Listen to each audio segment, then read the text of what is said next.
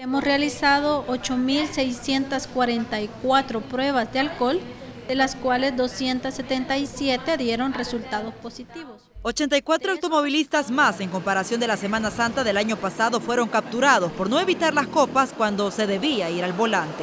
La Policía Nacional impuso en este periodo un total de 9.002 esquelas y detuvo a un total de 156 conductores temerarios. En carreteras y puntos estratégicos, la PNC y el BMT midieron los niveles de alcohol en los veraneantes, siendo el área metropolitana de San Salvador donde circularon más conductores ilegales. Donde se detectó a 51 conductores peligrosos, seguido por la región de Oriente, donde se detectaron a 49 conductores y la región de Occidente, donde se detectaron a 43 conductores peligrosos. Quienes menos obedecieron el llamado de cero alcohol mientras maneje fueron los hombres, dado que representan el 94% de los detenidos y el 6% son mujeres. Sople, sople, sople, sople, ahí va bien, sople, sople, sople, sople.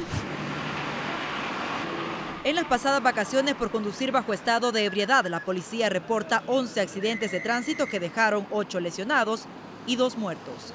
Para el noticiero, Wendy Hernández.